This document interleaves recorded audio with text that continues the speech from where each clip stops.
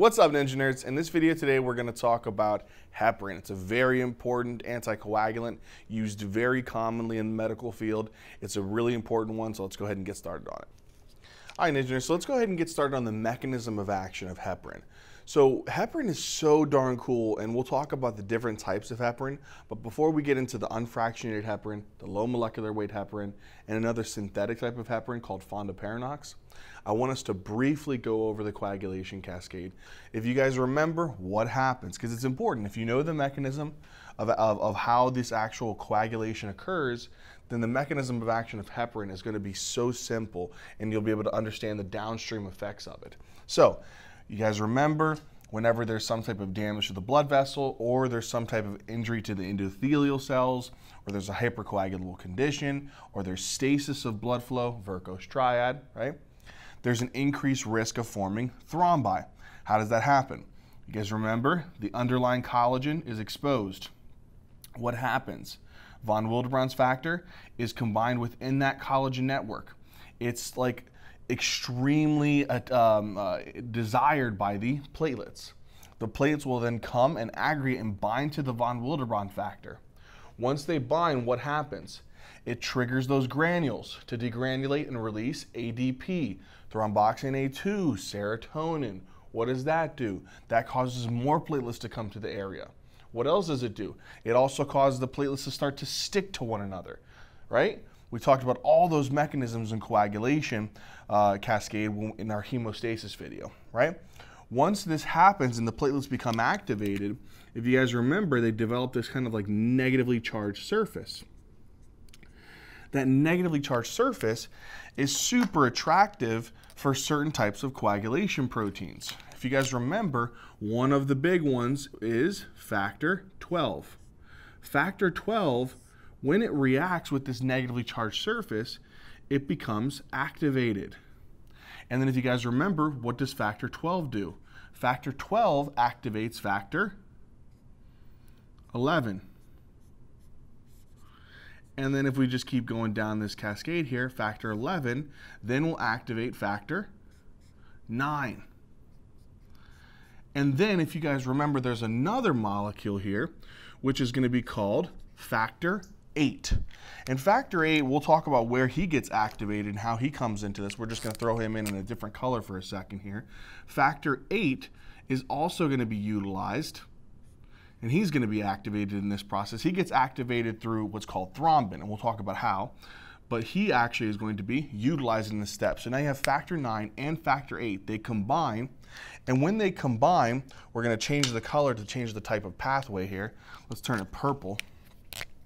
Then what we do is we take another molecule here called factor 10. What happens is factor 10, he gets activated. And then what happens is factor 10 then goes on to this next step where he combines with another factor. We're going to make this a different color again for purposes. We'll explain why. But there's another factor called factor 5. And factor 5 is going to be utilized in the step where factor 10 and factor 5, factor 5 is activated by thrombin again. And what happens is this factor 5 and factor 5a, along with another molecule called platelet, factor 3, turns another molecule, a really important one called prothrombin.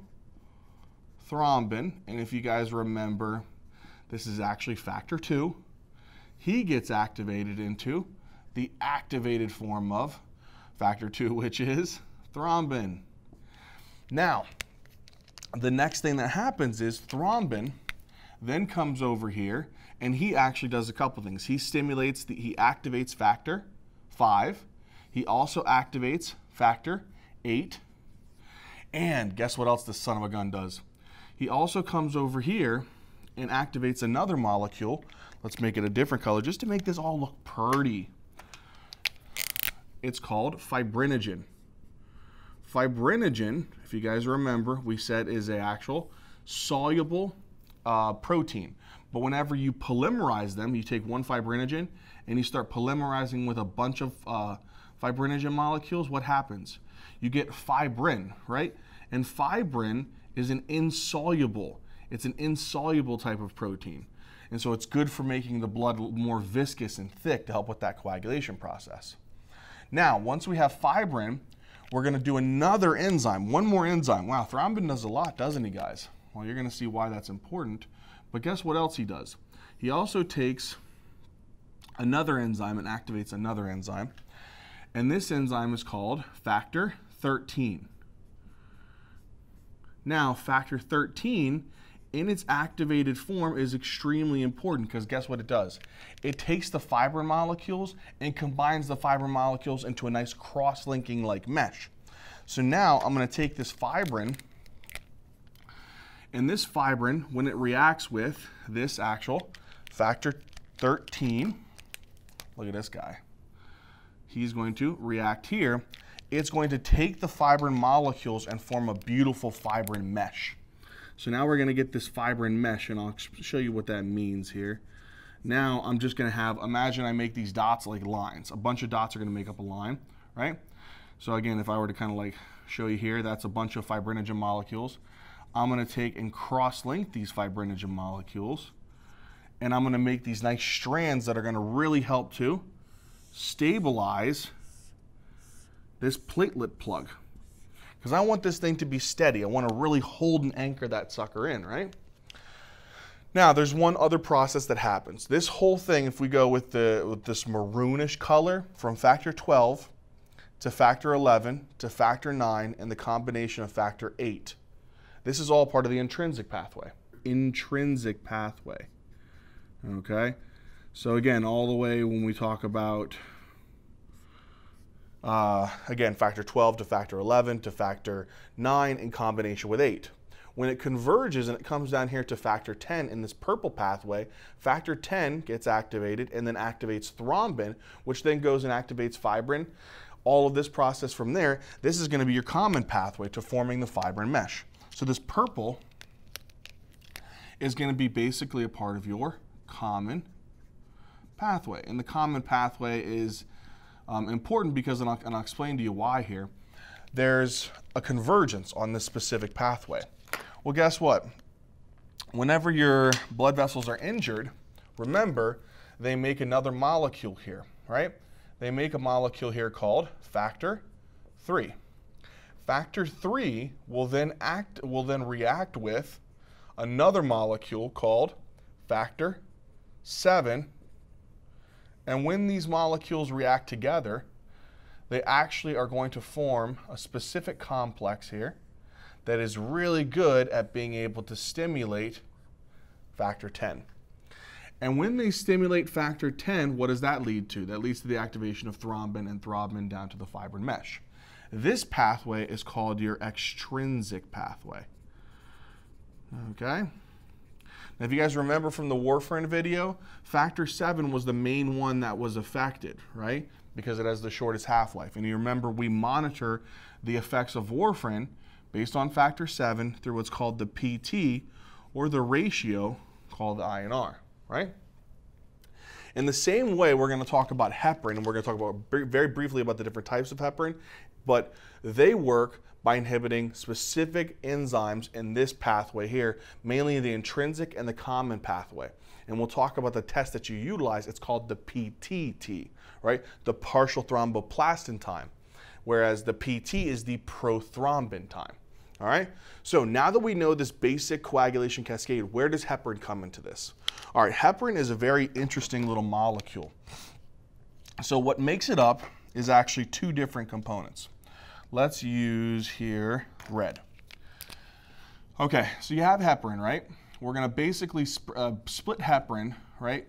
You take it from a pig, so a bovine source. And what this heparin is, is it can get broken down into two components. One is you have what's called the unfractionated heparin form, okay? Unfractionated heparin is, there's actually two types. There's a high molecular weight and a low molecular weight.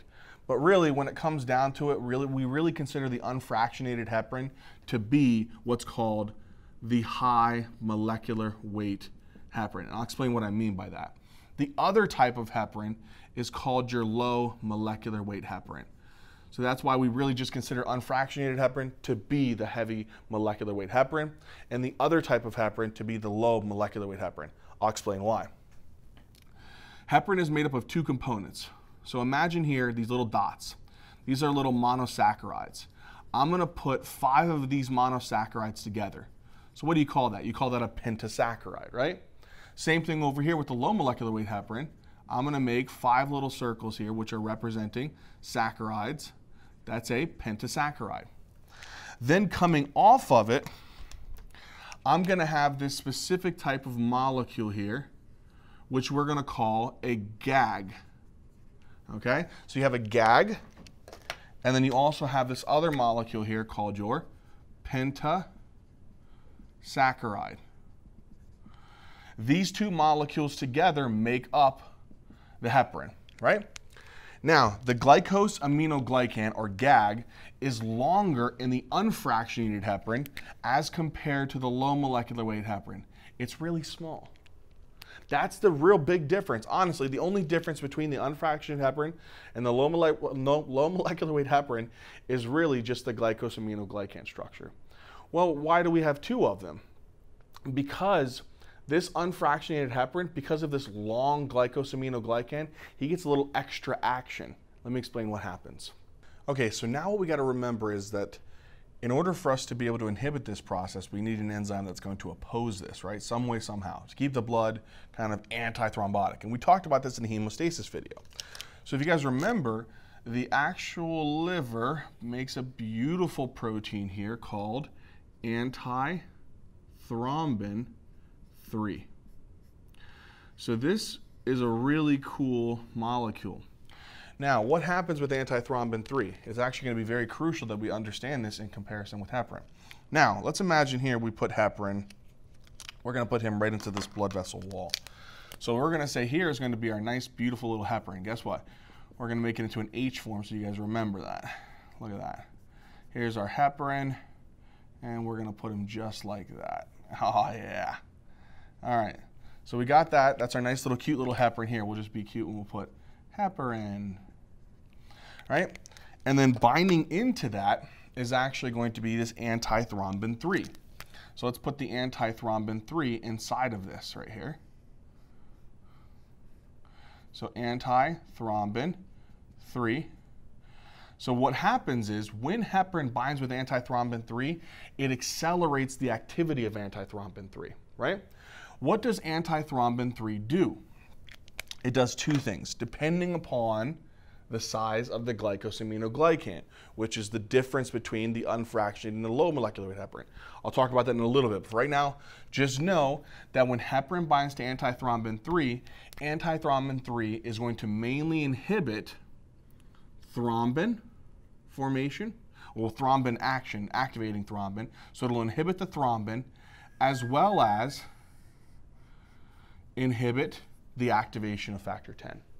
And if you think about it, regardless, if I inhibited thrombin directly, oh, that's beautiful.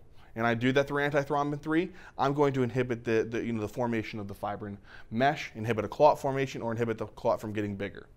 But in the same way, even if I inhibit factor 10, I'm going to inhibit eventually thrombin. I might get more of a downstream, of, a larger effect because when you inhibit proteins farther up within a coagulation cascade, you get a more amplified effect. Because now from me activating factor 10, inhibiting factor 10, factor 10 activates tons of thrombin. Doesn't that make sense? So if I inhibit factor 10, I might actually inhibit a ton of different thrombins. Whereas if I just inhibit one thrombin. Uh, so that's kind of a beautiful thing with heparin.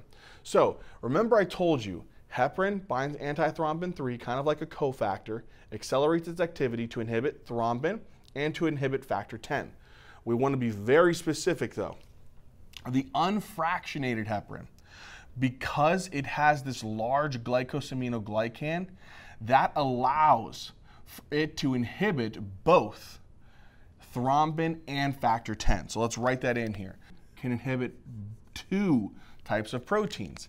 When it binds with the antithrombin 3, it can inhibit both factor 2 and inhibit factor 10 okay? And I'll show you like a little like animation of what, what I mean by this. So you can inhibit both factor 2, which is thrombin, and factor 10. That's a beautiful mechanism, and we'll talk about how that works. Low molecular weight heparin, on the other hand, when it binds with antithrombin 3, it only inhibits factor 10. So that's what I want you guys to remember about this. So it inhibits factor 10, but if you think about it, it's going to indirectly inhibit factor 2 downstream from that. There's another molecule, I'm just going to mention it very briefly. It's called fondaparinux. So we'll throw this last little molecule in here just so I mention it. Um, so fondaparinux is another type of heparin. We'll put it right here. It's a synthetic form of heparin. So you also have what's called fonda paranox. And all fondaparinux is, is it's just a pentasaccharide. It has no glycosaminoglycans. So it's a pentasaccharide, and all this guy really does is, is he just works by binding with antithrombin 3 and inhibiting factor 10.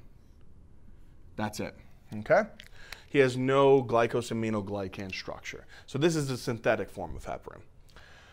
Now, here's what I want you to remember. It's very simple. So let's understand how this actually works. So let's say here I draw, we'll draw here an antithrombin 3 molecule. So let's say here I have antithrombin 3. Okay? So here's my antithrombin 3 molecule. Then what I'm going to do is I'm going to bind onto this antithrombin 3 I'm going to put in that pentasaccharide structure here.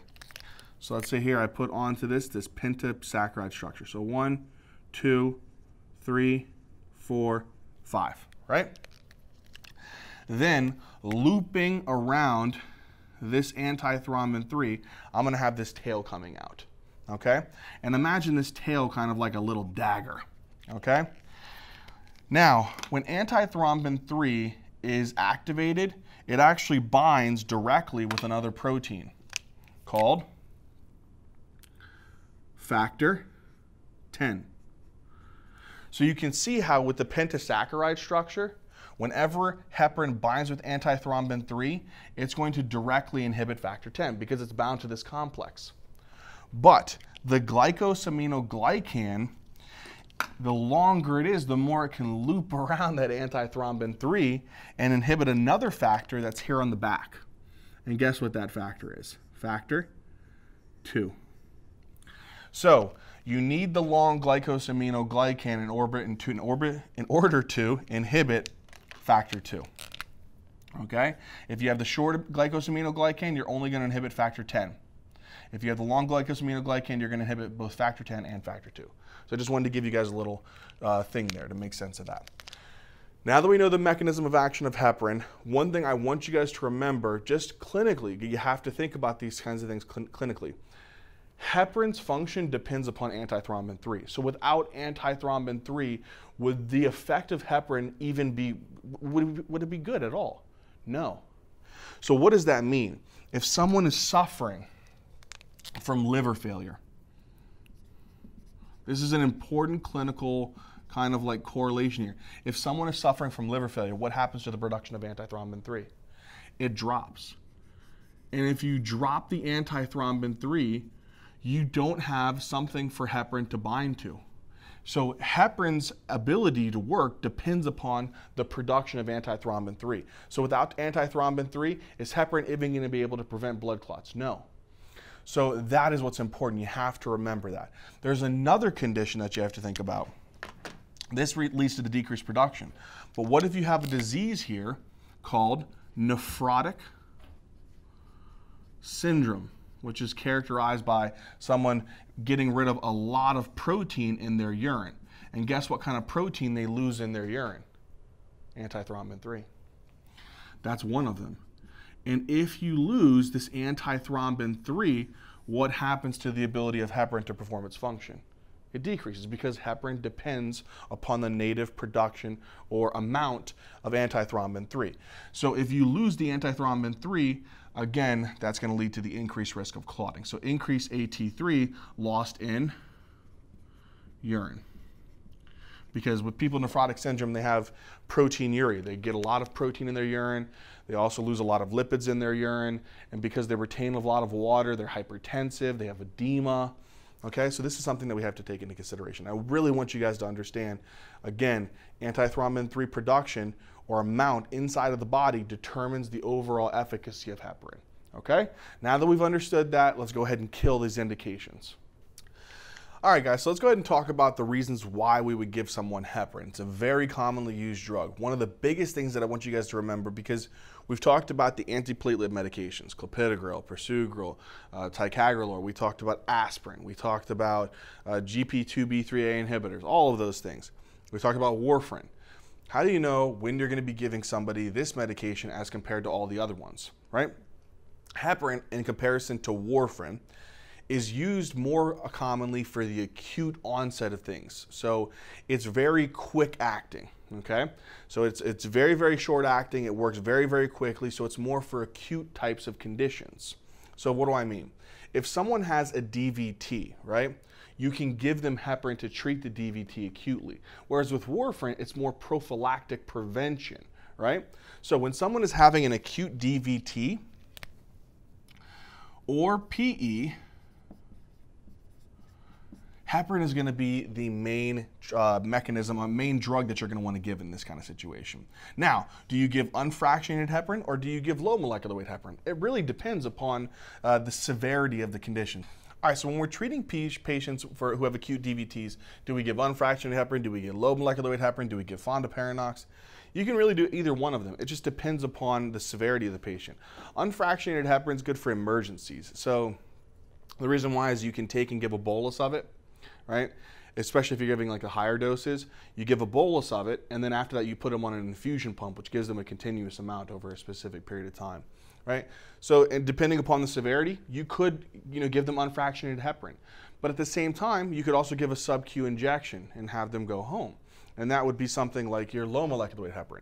And there's actually, when we talk about low molecular weight heparins, I want to make sure that I mention um, this. There's actually two main types um, that are utilized.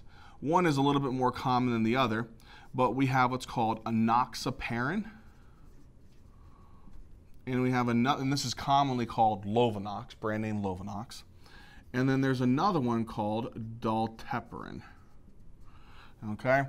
And again, this is something that you're going to want to remember, whereas unfractionated heparin Again, we just call it unfractionated, we just call it heparin. Okay, that's your main big, big boy, unfractionated heparin. You can also give this one.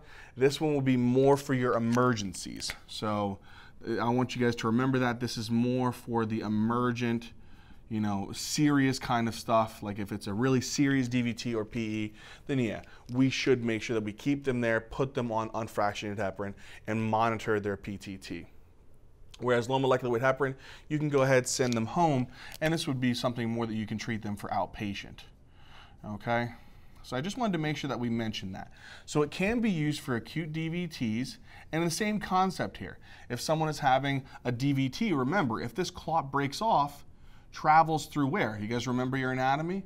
Travels through the inferior vena cava, to the right atrium, to the right ventricle, from the right ventricle into the pulmonary arteries okay?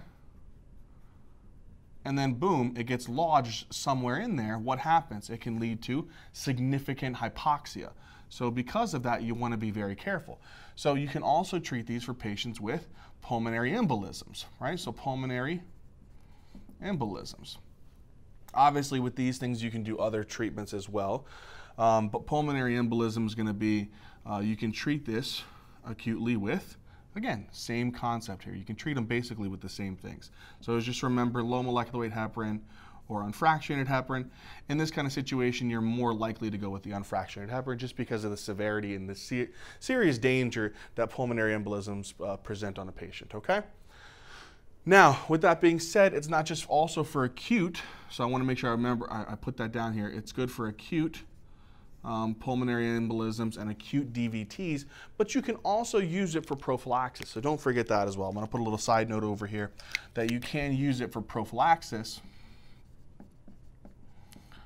okay, of DVT and PE, especially low dose. Okay, so this would be good for low dose heparin. Okay? Especially if someone's had some type of uh, surgical procedure which causes them to be bedridden, right? You could treat them with a low dose heparin. And again, this would be ideally your low molecular weight heparins because that's your sub-Q injections. And they have a longer half-life and they have much less side effects. But you got to be careful. And we'll talk a little bit later about comparing the two.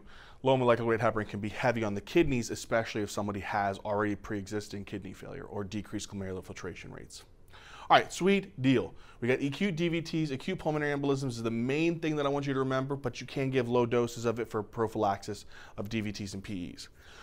What's another reason to give heparin? Another one, guess what happens here?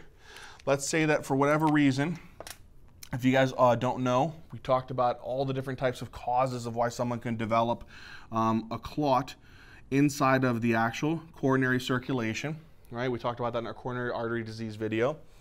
But there's multiple different reasons. It's usually atherosclerotic plaques that develop because of patients who are hypertensive and so on and so forth, right? But we know that if this happens, it, it blocks blood flow to the myocardium of the heart. What we can give in patients who are suffering from what's called a STEMI or even an NSTEMI we can treat them with heparin. Now, generally, this is going to be your unfractionated heparin.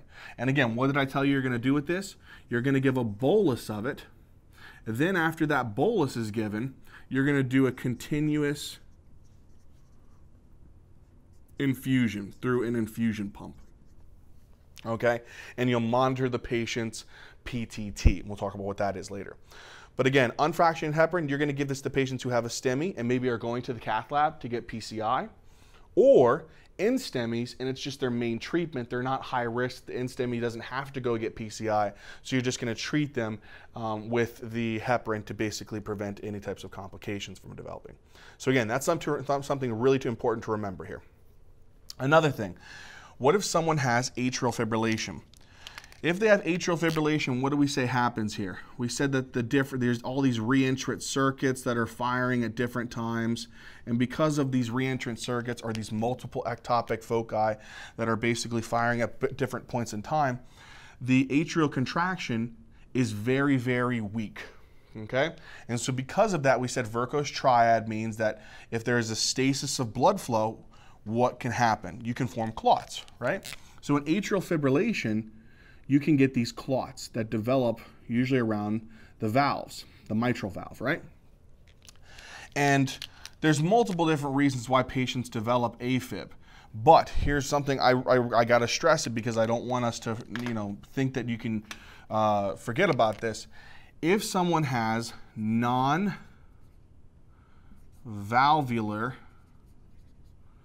AFib, that means that their atrial fibrillation is not due to mitral valve disease or due to a prosthetic heart valve. It's some other reason. Maybe it's due to excessive catecholamines. Maybe it's due to hypoxia from some type of lung disease. Maybe it's due to methamphetamines. Whatever it might be, it, electrolyte disturbances. It's just not due to the valves being diseased in any way, shape, or form. You got to remember that. Warfarin is the main thing that you give for patients with AFib because it can treat patients who have non-valvular AFib as well as valvular AFib. But heparin and all these other direct factor inhibitors are mainly for non-valvular AFib, okay? That's important. Now, again, uh, you're probably wondering, okay, well then why don't I just give them warfarin?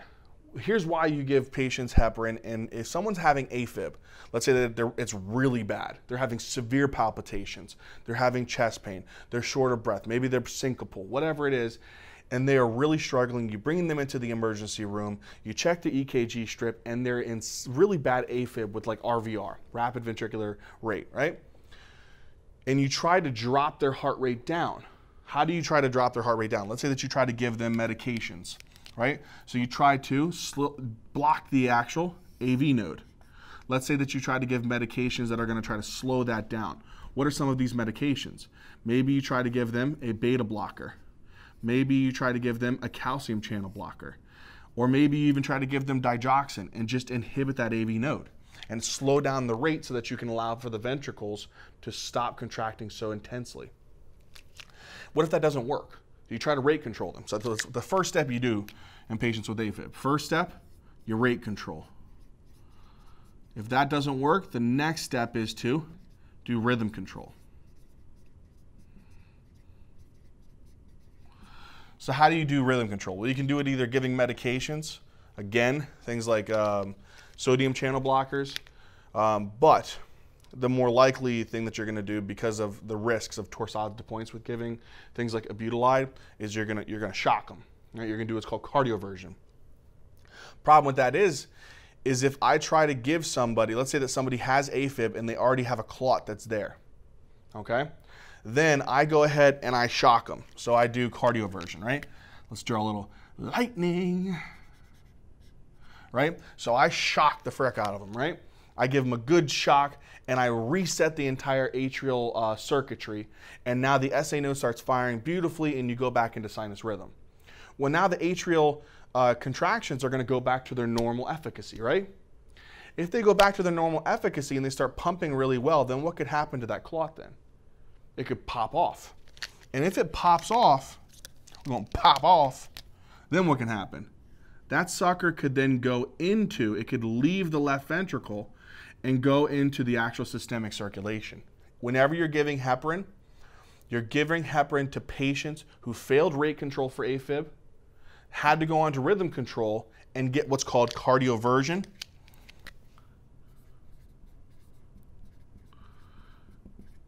And here's the thing you got to remember if they're getting cardioverted, you never shock someone without doing an echo. You got to do a transesophageal echocardiogram to look to see if there's a clot there because if you do shock them, that sucker can break off and go to the brain. So you'll heparinize them, wait for that, go have them come back, do another echo, make sure that there's no clot, and then you'll cardiovert them. But no matter what, long-term effects is you have to anticoagulate them. So after you cardiovert somebody, no matter what, you have to anticoagulate them. But if you do an echo, you find a thrombus there, you don't cardiovert them, you anticoagulate them, have them come back, cardiovert them, and then put them on anticoagulants for like three to six months, okay? So you got to remember that. So now, if we protect the patient from this type of situation with AFib, what do we protect them against downstream? You protect them from these emboli breaking off and causing a cerebral infarct, a renal infarct, right? So you're preventing a CVA. You're preventing some type, you're preventing renal infarcts. You're preventing splenic infarcts. The most dangerous one that you got to be careful of, this is the, the most dangerous one. If you don't remember any of these, at least remember the CVA. Splenic infarcts, as well as mesenteric uh, ischemia, which is again mainly the SMA, and ischemic colitis, which is mainly going to be affecting the IMA, or an acute arterial embolus that forms within inside of the arteries within a leg, and that can lead to limb gangrene.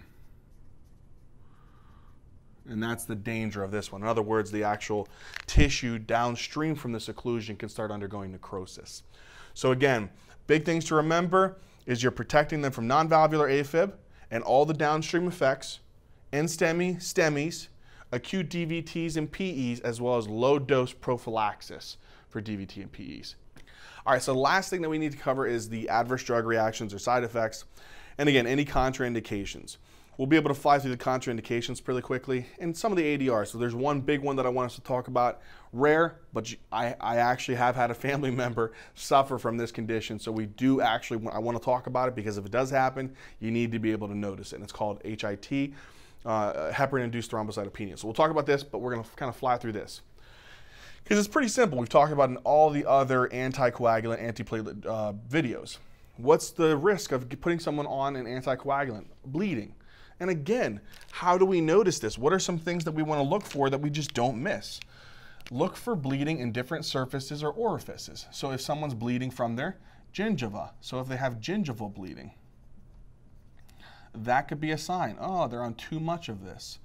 Or if this uh, share looking person is bleeding from their nostril holes, right? So they have anterior epistaxis. That should also be a sign. Or if you start seeing a lot of pinpoint hemorrhages or large, pin, large pinpoint hemorrhages or large bruising within the skin. And again, this could be petechiae. This could be uh, purpura, which are just larger petechial lesions. It could be ecchymosis, which are very large bruising. Again, look for any of those signs. That could be that they're bleeding a lot, right? What if they have blood in the urine, right? So you have blood in the urine, hematuria. That's something to watch out for as well. What if they have blood in the poop, right? So they have hematochezia. Or the blood in the actual stool is dark, melena. Okay? What if they're vomiting up blood, hematemesis? Or what if we don't even know that and they just have iron deficiency anemia? Okay, and again, because maybe they're losing blood, but it's not visible. Remember what I told you to do here? Do a fecal occult blood test. That's important to do. Always test for that if you think that someone is actually having blood loss. Again, you could do a CBC as well. So we'll put that down there, CBC, just to check their MCV as well and their hemoglobin.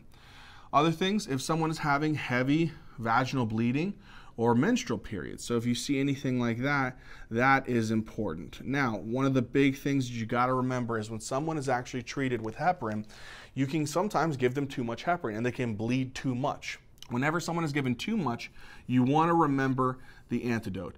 And that antidote is called protamine sulfate. Okay? Protamine sulfate is the main antidote that you treat patients with who are actually given too much heparin and they're adversely bleeding more than you want. Protamine sulfate is more effective against unfractionated heparin and a little bit less effective against um, uh, the low molecular weight heparin like enoxaparin and dalteparin. And it actually doesn't really affect the fondaparinux. If you really want to remember, there is another one for fondaparinux. It's, it's, it might work. It's not as great as protamine sulfate for unfractionated and low molecular weight heparin, but PCC, this would be good for the fondaparinux. Okay? All right, so I want you guys to remember these are the big, big side effects.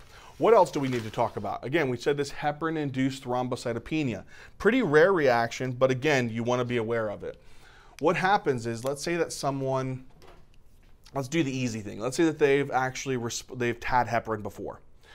When they have heparin, for some reason, their body reacts to specific things like what, here, here's what happens, right?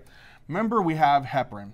Heparin can actually sometimes cause these, it can bind to inactivated platelets, okay? On platelets, they have this specific molecule here called platelet factor 4. So here we have what's called platelet factor 4. Sometimes what can happen is when the heparin reacts with this actual platelet through the platelet, activate, uh, platelet factor 4, so here we can put here some heparin, we'll put in combination here, we'll put H this can cause this complex to become immunogenic. Okay? So when platelet factor 4 and heparin combine on this platelet surface, it can become immunogenic. I actually need to write that down. That's very important because that could be some type of question that you might get on an exam. But it is immunogenic. And what that means is, is your immune system is going to respond to that. So how does it do that? Let's say here we have some antibodies that are made by your plasma cells. Okay? So your plasma cells make these specific types of antibodies. And these are IgG antibodies. These IgG antibodies will then combine, and we're going to draw this in simplicity now. Let's say that we draw here a platelet factor 4 here. Make it a little bit bigger. And we're just going to draw the heparin as a red dot here. This immunogenic complex, this antibody will bind onto. When it binds onto this, two things can happen. One is it can actually tag these platelets for destruction by the spleen. So now let's draw a cute little spleen. We drew it green over here. So let's say here we're going to draw a cute little spleen. And these are going to get taken to the spleen so they get tagged. We'll put here tagged, right? And then the macrophages, which are inside of the spleen, are actually going to break this down. So then they'll get destroyed by the actual spleen. Another thing that can happen is is it can activate the platelets. So now if I would draw a platelet here, look at this platelet. It is ready to cause some bad, bad problems. This dude is ready to start causing a lot of issues. What do I mean? Well, now it's got this tagged thing here, right? We got the heparin, we got the platelet factor 4. This is our immunogenic complex here. Then we got our IgG antibody that's binding to this. Guess what this does? This activates the platelet. And now, if this platelet is activated, guess what starts binding to it? Other platelets. And so guess what will result out of that? If I have a bunch of platelets that start increasing and binding to one another, what does that mean? I'm going to form a clot. So these platelets will get consumed in forming clots, but they'll also get destroyed by the spleen. What's the end result? If they get consumed in clots, as well as they're getting destroyed, what's the overall result? A decrease in platelets. If there is a decrease in platelets, what is the name for that? Thrombocytopenia.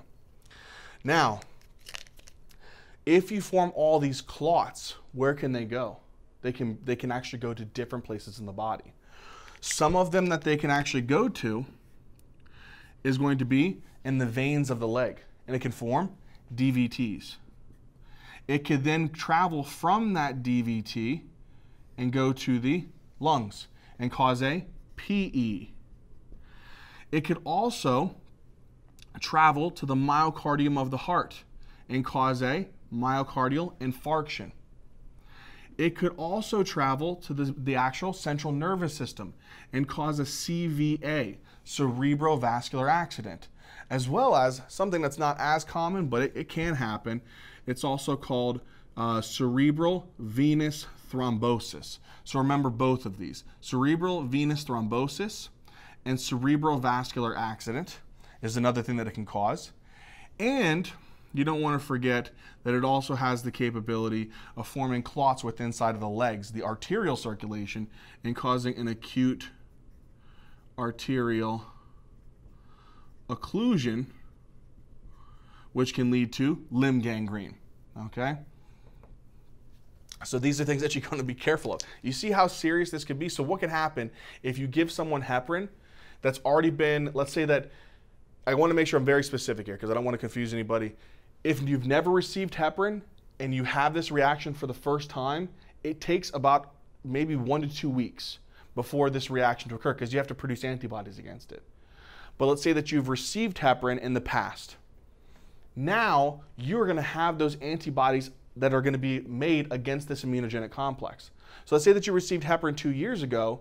You have, for some reason, you get a DVT, you come in, you got to get treated with heparin. Guess what can happen within a day? You can actually have this response.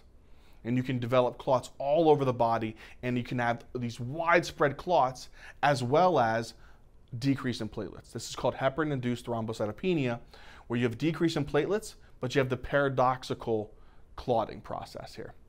So, how do we diagnose this? There's this very specific test that they utilize. Um, it's called the serotonin release assay. This test is probably one of the coolest tests ever. I just lo I love this test. Serotonin release assay. This is your gold standard test. And what they do is they take the person's serum, which should have the antibodies, right? Should have these IgG antibodies in it. Let's draw that here. They take the patient's serum, which should have, assuming that you've been ex exposed to it in the past or you've made it, you take these IgG antibodies which are in the serum, okay, assuming that it is. So this is the patient's serum. You take some donor platelets, okay? So you take these platelets, these donor platelets, and you combine them you put these donor platelets in them. And the donor platelets should have this platelet factor 4, okay? And again, you're also going to have heparin there. What should happen then is if your platelets get activated, what are those chemicals that it releases? This is so cool. You guys remember what are the chemicals it releases when it gets activated? ADP, thromboxane A2, and serotonin. 5-hydroxytryptamine. So if these IgG antibodies are there, you give them donor platelets with the PF4, and again, there's going to be heparin within the solution. It triggers that immunogenic complex, binds to the platelet, activates the platelet. What should be in high concentrations in this final tube? An increase in 5-hydroxytryptamine or serotonin. And that would be a positive test. So if there's elevated levels of serotonin, that's a positive sign for heparin-induced thrombocytopenia. Isn't that cool? So what do you do? Stop, stop giving them this heparin. So the treatment is really, relatively simple. Treatment, discontinue heparin. And then put them on another medication, which we'll talk about in another video. So we'll switch to another medication, which is going to be uh, a direct uh, factor 2 inhibitor. And these would be things like um, argatroban and we'll talk about that in another video. So you'll switch them to a direct factor 2 inhibitor, things like argatroban. All right, so last thing, and we're gonna pretty much blow through this, contraindications. It's relatively simple. You don't want to give it to someone who's bleeding, okay? If they have uncontrollable bleeding for whatever reason, they have a, you know, uh, some type of condition, any uncontrollable bleeding, this is not something that you're going to want to give to somebody. If they just recently had a CVA, why? Why is that important? If someone just had an ischemic stroke and you give them heparin, what can you do? You can convert what's an ischemic stroke into a hemorrhagic transformation. And that's a very serious thing that we don't want to ha happen. Okay, we also don't want to give this to patients who have uncontrollable hypertension because obviously if they have uncontrolled high blood pressure, what are they at risk for? Aortic dissections, aortic aneurysms, and therefore bleeding. So again, it's pretty simple. You just want to avoid that. Now, here's what a really important one that I don't want you guys to forget. You guys want to remember this one because it is key to knowing when you use which medication. If someone has, now generally, heparins, remember I told you there's unfractionated heparin and there's low molecular weight heparin. Don't worry about the fondaparinux. These are the two main ones that I want you to know. The unfractionated heparin I want you to remember that it's actually nice to the kidney, okay? It's not really super, super hardcore on the kidney. The low molecular weight heparin, this is bad on the kidney. It can be pretty rough. And really, in order for this guy to really be excreted through the kidneys, it needs a good glomerular filtration rate. Approximately, you want it to be greater than 30 milliliters per minute on the creatinine clearance. Okay? You'd like it to be. But let's say that their creatinine clearance drops. So someone is showing signs of renal failure. Let's say that they're in renal failure. Okay? And what happens as a result of that? Their creatinine clearance drops, or their GFR is going to drop. If it drops to anything less than 30 milliliters per minute, you should not be giving them low molecular weight heparin. This is a no-go. All right. So if this is the case, this is a no-go. You do not give low molecular weight heparin, you switch to the unfractionated heparin. So again, that is an important thing to remember as a potential contraindication in patients who are receiving heparin. If they have signs of renal failure or the GFR drops less than 30 milliliters per minute, do not give low molecular weight heparin, switch to the unfractionated heparin. Or if you want to, you can just make sure that you very, very carefully control their dosage, okay? But it, it's a relative contraindication in these patients. All right. Last thing I want to mention, I talked about that PTT. If you guys remember, PTT is called the, here we're going to mark it down here. PTT is called the partial thromboplastin time. And we're going to put a little A in front of it and I'm going to explain why. So PTT, let's write this out here, is called the partial thromboplastin time. It's the time it takes for the intrinsic and common pathway to occur. Okay? So it's the time it takes for factor 12 to activate factor 11, to activate factor 9, to combine with 8, activate 10, convert th uh, prothrombin into thrombin, activate the fibrinogen, and turn it into fibrin, and form a clot. So because of that, it's going to be longer than the PT, which was the prothrombin time, which was the measure of the extrinsic pathway and the common pathway, right? So, what do we do? We take the patient's plasma. So let's say that this is my plasma, okay? We take the plasma, we send it to the lab. The lab then takes um, a specific molecule. They call it, the only reason that I'm mentioning this A here is that, uh, so you don't get confused whenever you see someone, they write it as PTT or APTT. They're really the same thing. The only thing that you're just specifying is that if there's A in front of it, you combined what's called an activator. So in the lab, they throw in a specific molecule. Um, I think usually they use things like uh, silica as a common activator, and they'll, they'll write like silica and they'll throw that in there, and that's supposed to basically help to trigger the activation of factor 12. Okay? And that'll start this whole process. So what you want to know is how long does it take for me, once I add in the silica into this actual solution, to activate factor 12, how long is it going to take before the blood clots to go through the intrinsic and the common pathway? Now, normal PTT is uh, usually, usually 30 to 40 seconds. That's like the average. So we'll put here again, we'll keep consistent. APTT, the activated partial thromboplastin time, is usually 30 to 40 seconds. But now, think about this. You give someone heparin. Remember what heparin does. It affects thrombin, which is a part of your common pathway. It also affects factor 8, right? Because thrombin, and it also affects factor 10. So it does have an effect on the common and the intrinsic pathway. So, if you give heparin, so now think about this. If you give heparin, what's going to happen now to this whole co uh, coagulation process? It should take a longer period of time. So now the time it takes for the blood to clot, it should be longer because I'm giving an anticoagulant. So what we want is, we want the activated partial thromboplastin time, and we're going to put here no heparin. We want afterwards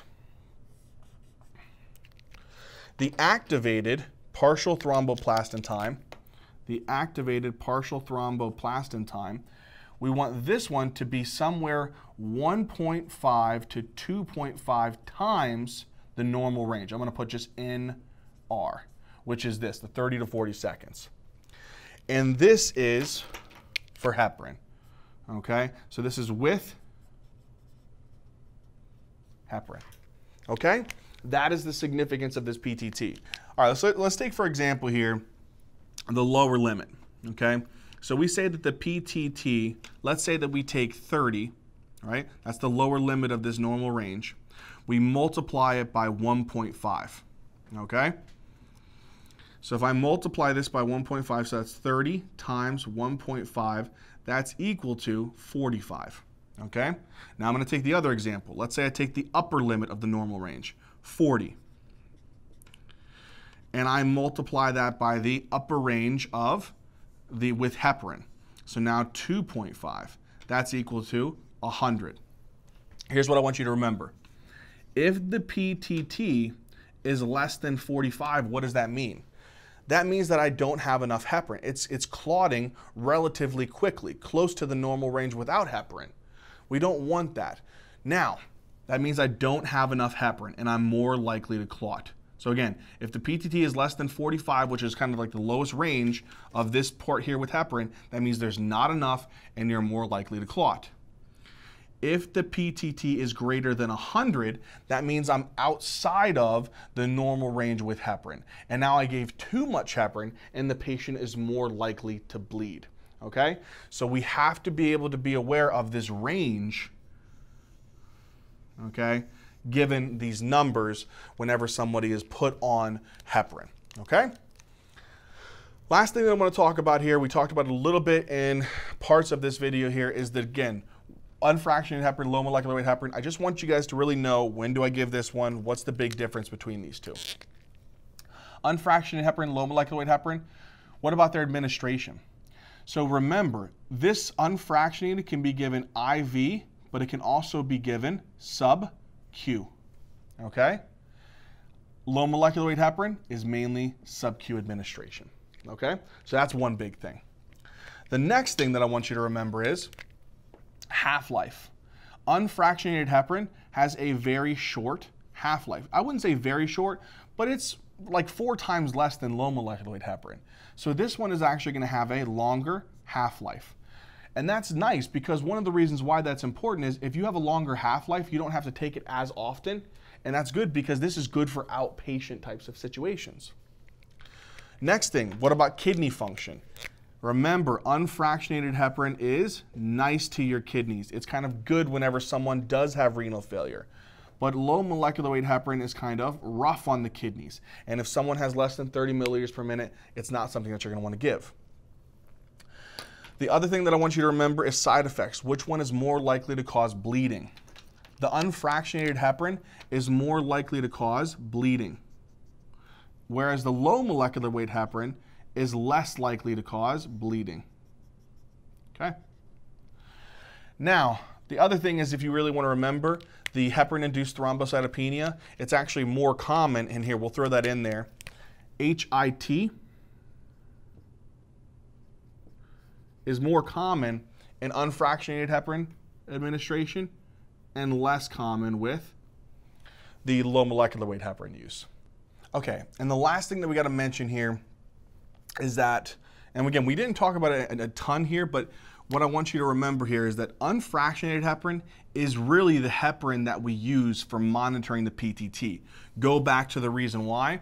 Unfractionated heparin inhibits both factors 2, thrombin, and factor 10.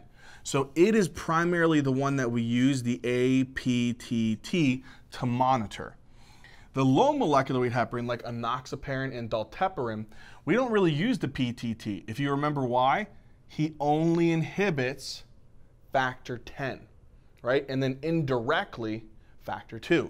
So because of that, because he doesn't affect thrombin, we really don't use the PTT for him. So we monitor factor 10, a activity. Okay? And that's what's going to give us, you know, how well this actual low molecular weight heparin is, is, is doing in the body, especially if someone has kidney failure.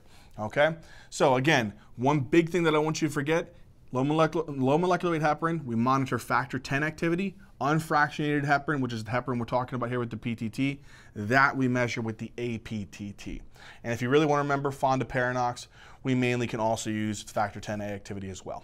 Okay? So that's the big things that I want you guys to know for heparin. All right, Ninja Nerds, so I hope this video made sense. I really do hope that you guys did enjoy it. If you guys did, please smash that like button, comment down in the comment section, and subscribe. Seriously, subscribe. Also, if you guys can, go down in the description box. We'll have links to our Patreon account, our Facebook, our Instagram. Go check those out. Ninja Nerds, we love you. And as always, until next time.